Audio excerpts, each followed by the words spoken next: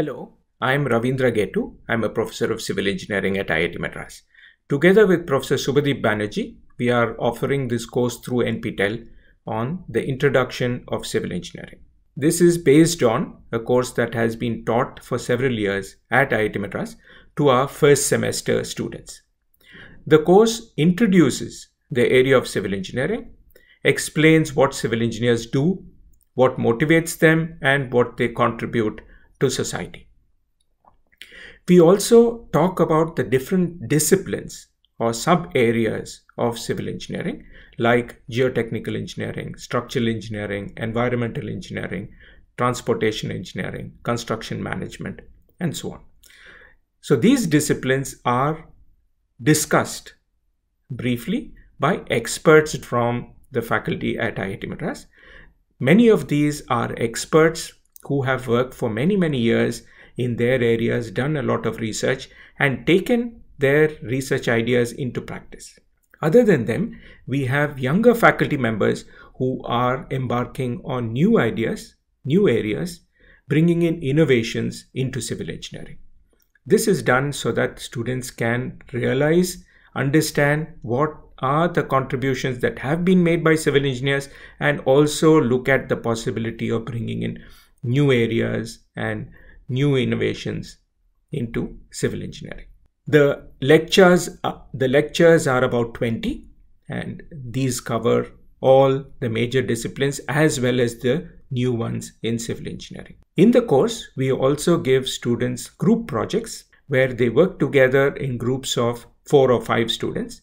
They are mentored by a faculty member of IIT Madras. They are given simple projects with clear objectives and through the semester they develop the idea they find out more on the topic and at the end of the semester after satisfying certain milestones present a report and explain what they have learned and what their learning and understanding of the topic has been.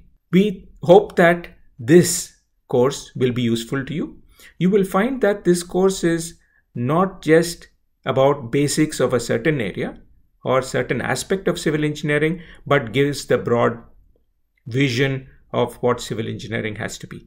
It focuses on the big picture, explaining why a student has to be proficient in maths, physics, chemistry, in mechanics, and in applications of certain things that they have learned in school so that they can become good civil engineers. It also discusses some major projects so that students can understand the contributions and also see who are the major civil engineers who have contributed a lot to society. To give you a student's perspective, we have Shruti who recently took this course talking to you about how she benefited uh, from the course. Thank you. Hi, my name is Shruti Sriram and I am a first year student at IIT Madras I'm pursuing my BTech degree in civil engineering. I took the CE 1010 course on the Introduction to the Civil Engineering Profession in my first semester, and I'd like to say a little bit on how it helped me understand um, the branch of civil engineering a little better.